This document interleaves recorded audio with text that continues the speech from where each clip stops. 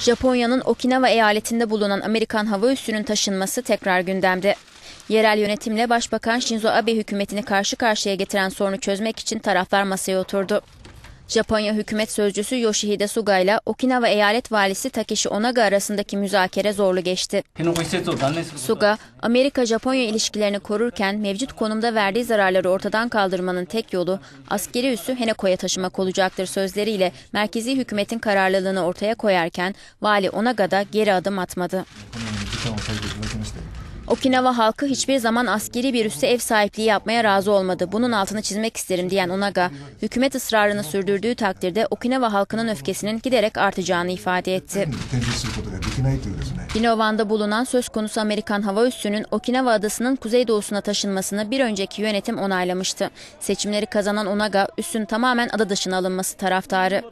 Valiye destek veren Okinawa halkı görüşmenin sürdüğü esnada Amerikan üssü aleyhinde protesto gösterisi düzenledi. Jehovah will defend.